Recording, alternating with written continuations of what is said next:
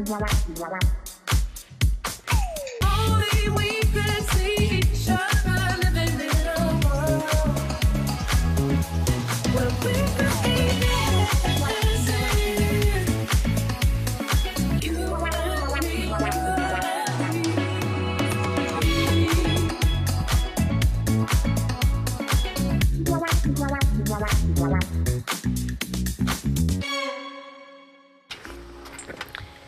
Buongiorno, benvenuti a Buongiorno Fitness, ci stiamo appassionando al Muay Thai ed è l'inizio della settimana che eh, siamo insieme a Rolando Bernal, eh, istruttore di questa disciplina, insieme a Leonardo e Giuseppe che ci stanno eh, portando proprio nei segreti di questa arte marziale eh, thailandese.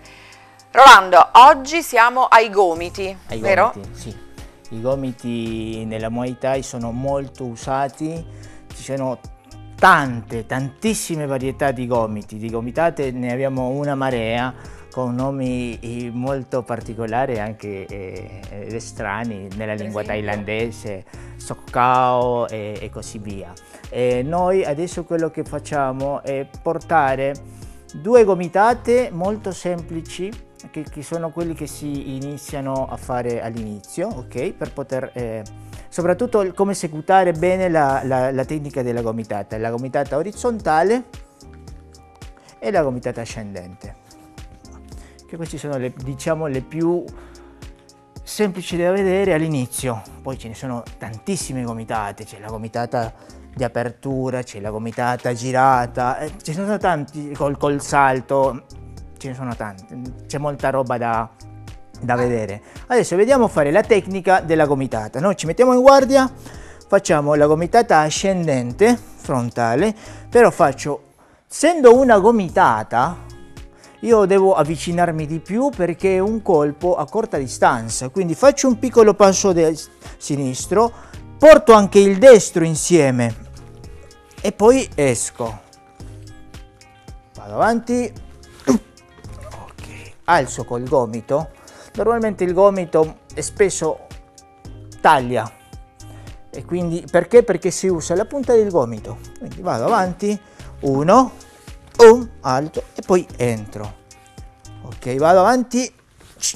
Ok, uscire dopo aver eh, fatto eh, la gomitata è importante perché mi sono avvicinato troppo, quindi posso essere soggetto anche a un eventuale clinch o una risposta. Quindi entro e poi esco subito con il piede destro. Facciamo il destro, uguale, passo, op, dietro. Andiamo a fare la gomitata orizzontale. Passo, op. la guardia sempre alta. L'altro braccio sempre resta in alto. Passo, ush. facciamo con la mano destra, passo, ush. passo, ush. ok. Perché è importante uscire? Adesso lo vediamo con Giuseppe. Giuseppe. Giuseppe entra con la sua gomitata sinistra ascendente e poi deve, devi uscire immediatamente perché è soggetto a una mia di risposta. Op, um. Vai Giuseppe, op, um. Entra con tutte e due le gomitate. Ep, ep, ecco, esce veloce. Vai, ep, ep, um. Vai, esci, esci, ecco. Andiamo con la gomitata orizzontale. Esci, l'altro, esci, esce. Tutte e due insieme. Uno, due, muy bien, grazie Giuseppe. Leonardo, uguale, entra con la gomitata ascendente e poi esci. Sì, vai. Entra, um, esci veloce, esci veloce, vai. Um, esci veloce, bravo. Con un passo destro. Diritto, vai. Up, ecco. Vai, up, ok. Adesso il destro.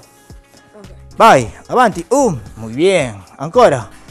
Um, ok. Adesso tu fai uno ascendente e uno orizzontale. Vai, uno, up, up. Bravissimo. Vieni di qua. Ascendente orizzontale, vai. Um, up. Bravo. Ancora uno. Up, up. Esci, bravissimo. Bravissimi, grazie. Rolando, ricordiamo sempre che anche chi non pratica normalmente questo sport a casa si può allenare con questi Sì. movimenti e fa bene al fisico. Certo, eh, ruotare il bacino insieme alle spalle e alla punta dei piedi eh, fa bene articolarmente a tutto il corpo. Poi portare il ginocchio non è eh, molto difficile da fare e poi eh, facendolo 20 volte, alternando con 20 addominali, 10 flessioni, 15 squat a casa si può fare e sicuramente porterà ottimi risultati. E allora seguiteci. Domani avremo un'altra lezione di eh, Muay Thai con Rolando, con Giuseppe e con Leonardo che ringraziamo. E noi come sempre eh, ci rechiamo dalla dottoressa Marina Manieri per la parte alimentare della nostra trasmissione.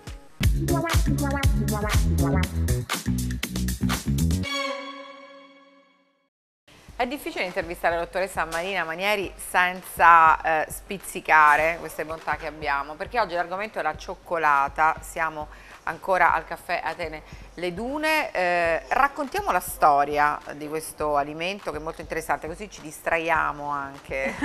Sì, ottima idea.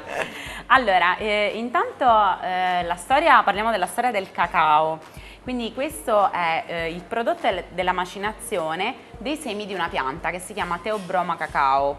Teobroma appunto dal, mm, dalla tradizione che questo fosse per le civiltà precolombiane il cibo degli dei. Ok? E, Come è eh, arrivato fino a noi? eh, dalla sua scoperta mh, eh, abbiamo le prime tracce nel 3300 a.C., addirittura in Ecuador. E, mh, da lì esso fu appunto un alimento significativo per eh, le civiltà precolombiane che ne, ricavarono- ne ricavavano soprattutto una bevanda chiamata Xocoatl, da cui appunto cioccolata, eh, mischiando l'estratto di queste fave con acqua e aromi tipo vaniglia, pepe, peperoncino. E questa era la bevanda dei nobili e dei guerrieri, riservata ai sovrani e altre poche caste, molto energetica e mh, importante anche in dei rituali religiosi. Fino a noi è arrivata ovviamente a seguito della scoperta dell'America, fu importato questo prodotto in Europa e lavorato secondo quelle che sono invece le nostre eh, tradizioni dolciarie. I consumatori si dividono tra eh, fondente e al latte. A livello eh, nutrizionale quali sono le differenze? Allora, la differenza più importante è appunto quella legata alla presenza del latte nel cioccolato al latte, che ne cambia la composizione nutrizionale. Il cacao, dal canto suo, dal punto di vista ehm, della, appunto, della composizione dei suoi macronutrienti, è ricco in grassi e carboidrati.